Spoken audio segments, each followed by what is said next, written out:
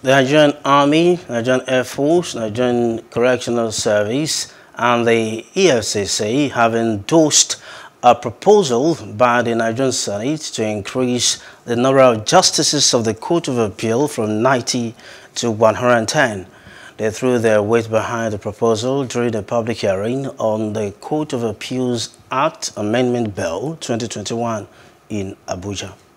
Speaking during the hearing, Chief of Army Staff Major General Farouk Yahaya, represented by Director of Legal Services Army Major General Mu Wambai supported the proposal, saying that the amendment is in accordance with extant laws. Then we have the Court of Appeal, which is uh, so crucial to us. The Court of Appeal Bill seeks to amend the Court of Appeal uh, Act 2013 by increasing the number of justices of the Court of Appeal to 90, uh, from 90 to 110. Having juxtaposed the bill with the Court of Appeal Amendment Act 2013, the Nigerian Army opines that the amendment of Section 1 of the Principal Act is in accordance with external laws, and the Nigerian Army further advocates for the appointment of retired service personnel from the legal services of the armed forces to the Court of Appeal to serve as assessors. Earlier in his presentation, the chairman of the Senate Committee on Judiciary, Human Rights and Legal Matters, Senator Opeyemi Bamidele, said the bill is to allow for the creation of more divisions of the court. Primarily seeks to amend the Court of Appeal Amendment Act 2013 by simply increasing the number of justices of the court from the present 90 to uh, from the present 91 and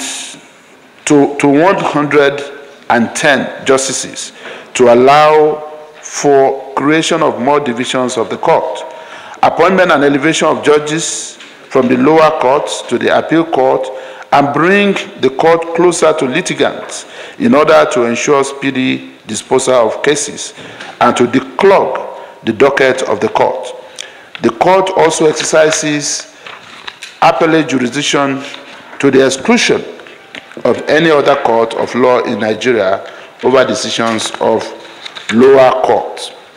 The bill primarily seeks to amend the Court of Appeal Amendment Act 2013 by simply increasing the number of justices of the court from the present 90 to 110 justices. This is to allow for the creation of more divisions of the court, appointment and elevation of judges from the lower court to the appeal court, and bring the court closer to litigants in order to ensure speedy disposal of cases and to declog the docket of the court. Hello, hope you enjoyed the news. Please do subscribe to our YouTube channel and don't forget to hit the notification button so you get notified about fresh news updates.